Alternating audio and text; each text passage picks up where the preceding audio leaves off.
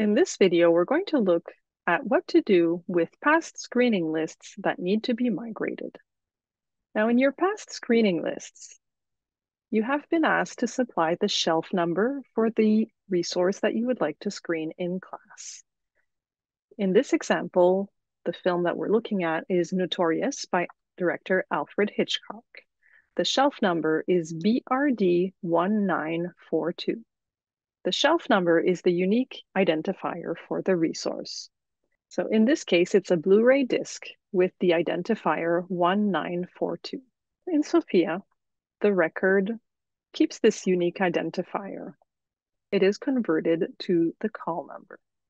If we go to the bottom of the record, where we can verify the availability of this edition at Concordia University Library, we can see the same information, BRD 1942, as a call number.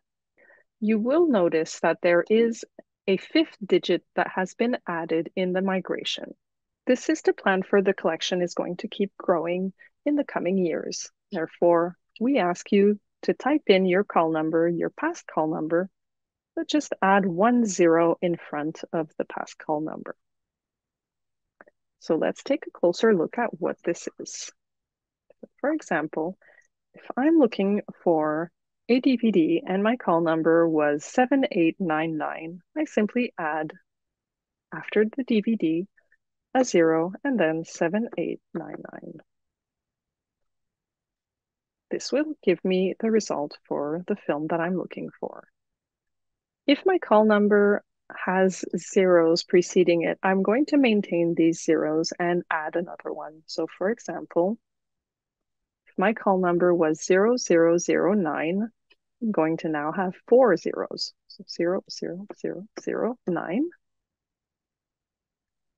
And my result, if I don't add this number, it is possible that normally it will not retrieve the right record or the record that we want. So for example, here, there are no results if I haven't added this call number, this zero in front of the call number.